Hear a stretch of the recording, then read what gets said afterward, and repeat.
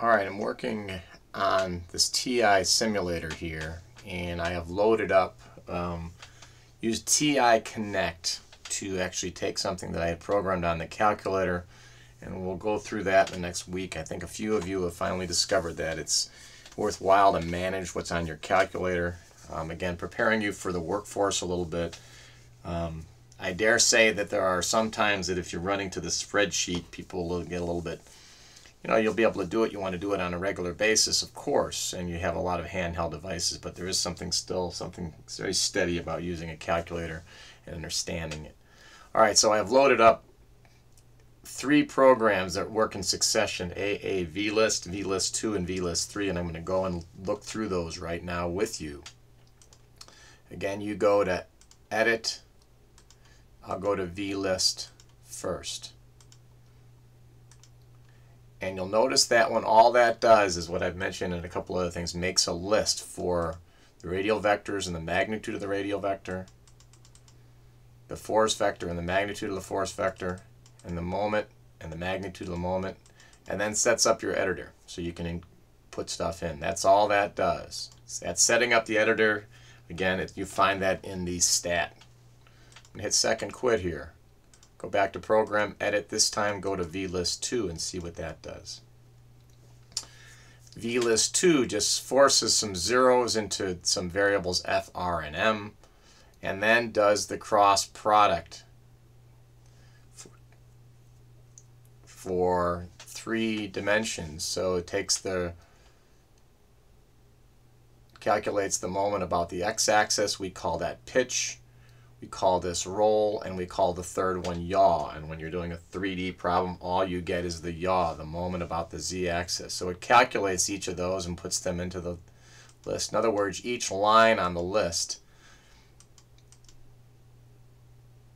corresponds to one vector.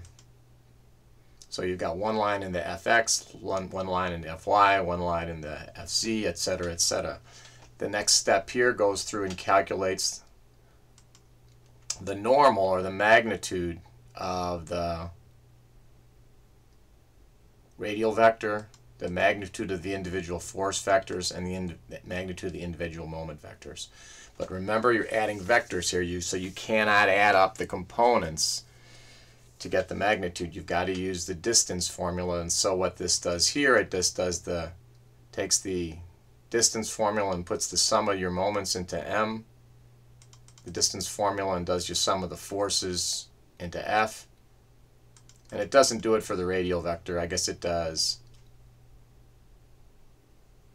It uses R here for the projected vector, not for the forces. And that's, of course, so you can figure out, in fact, so you can figure out a elevation angle. So that R in this case is using for the projected vector of the force vector. This next step, it's doing a little error checking. You really want to get used to that. Remember, whether you're doing with matrices or with algebra, what you do to one side of the equality, you do to the other side, but you cannot divide by zero. And so in this case, it's kind of signaling going forward that if you're going to do some divisions by m, f, or r, it's going to send you down to some other place in the program where it skips around it.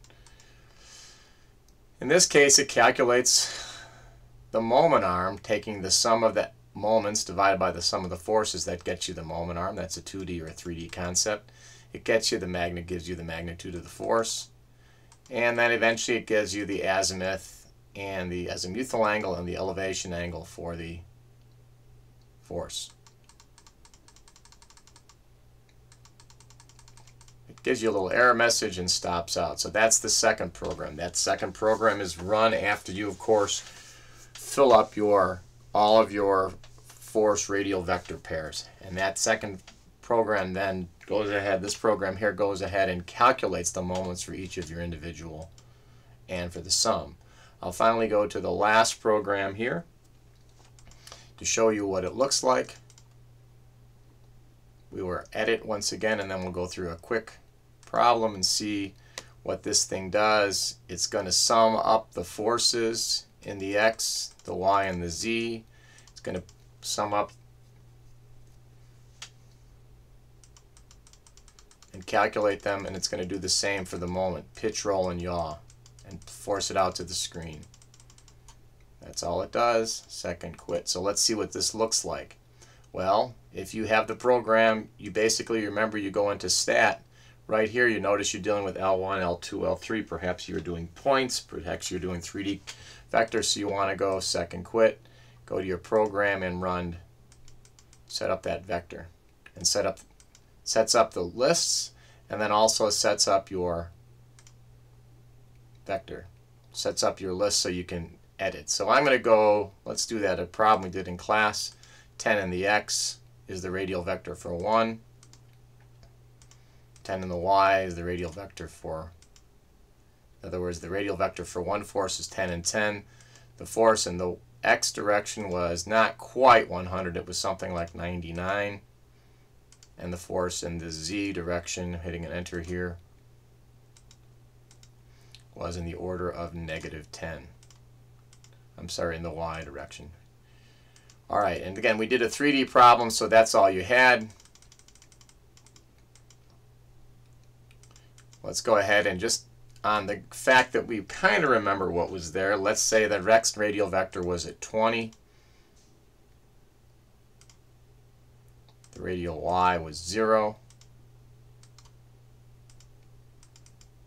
The force in the x direction, again, it was a roller joint, and the force in the y direction was somewhere in the order of, let's say we guessed at it at 50 positive. I don't think that was the case. Okay, now you have two vectors. What you can do when you're done and calculate all your reactions, you can put in the applied and the reactive forces and hopefully get zeros out of this thing as your check.